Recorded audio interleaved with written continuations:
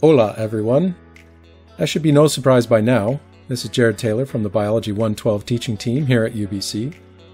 In the last video, I introduced the four major macromolecules that we care about in biochemistry and biology, three of which we cover here in Biology 112. In this video, I would like to talk about the first of the macromolecules that you will see in class, lipids, and by extension, cell membranes. So let's change things up a bit and ask a slightly different type of question to start this off. How?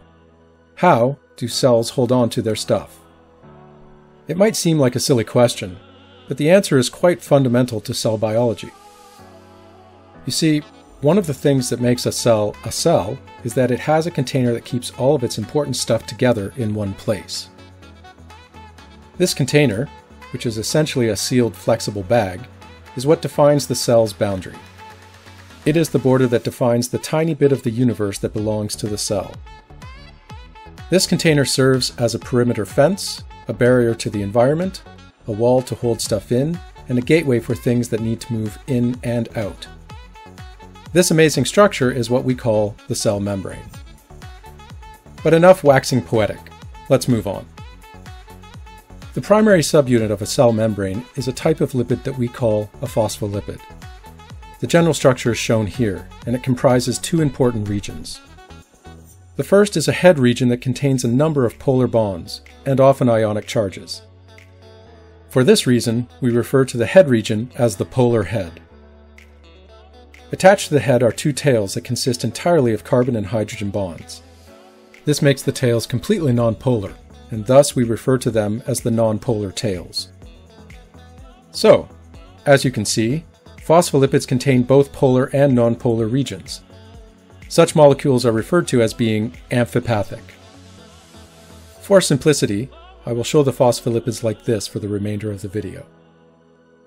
One of the remarkable things about phospholipids is that when added to water, they spontaneously form bilayers, with the polar heads facing the aqueous solution and the tails sandwiched in the middle. This creates a very hydrophobic core within the bilayer. Why the phospholipids spontaneously arrange themselves into a bilayer structure is something we discussed during class. For now, let me mention the type of noncovalent interactions involved. The polar heads interact with each other and the surrounding water using a variety of permanent dipole and ion-based interactions. On the other hand, the tails interact with each other using induced dipole to induced dipole interactions. The phospholipid bilayer is the primary base structure of a cell membrane. And to pretty it up a bit, let me add some depth to the layer shown here since it does extend in two dimensions. Now, a phospholipid bilayer by itself is quite fragile and not stable enough to be a cell membrane on its own. Cells solve this issue by integrating other components into the membrane that make it more robust and rigid. Proteins and sterols are a good example of this. One important aspect of the cell membrane is that it is largely held together by non-covalent interactions. The phospholipids and other membrane components are not usually covalently linked. This results in the different components being free to move laterally past each other. This concept is known as the fluid mosaic model of cell membranes. In essence, the cell membrane acts as a two-dimensional fluid where components can more or less freely move past each other. To show you what I mean, Let's look straight down on a patch of cell membrane. Again, we have some proteins and sterols embedded in the membrane. Since these are not covalently attached to each other, they can float around in the plane of the membrane. Even the phospholipids can easily move around freely. There are some restrictions in certain areas of cell membranes, but these are things you will learn about in future courses. One of the big functions of the cell membrane is to act as a barrier and a gate to certain molecules.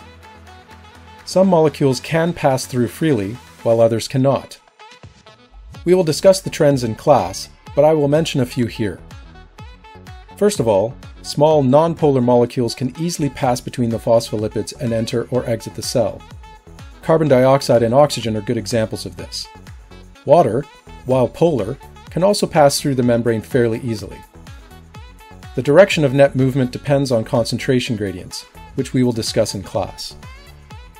In the case of water, the net direction of movement depends upon osmotic pressure, which is something you will have learned about in high school.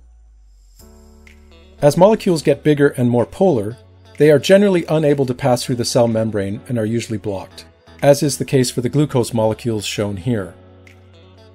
Another trend that is very important is that ions, such as sodium ions and protons, are unable to pass through the cell membrane at all and are completely blocked. This is a property that is extremely important and is exploited by cells for functions such as signaling, energy production, and transport. Which brings us to one final point. If cell membranes are barriers to molecules, what happens to molecules that the cell wants to get in or out but that cannot cross the membrane by themselves? Well, when cells want to do something, the answer is almost always proteins, which is true here.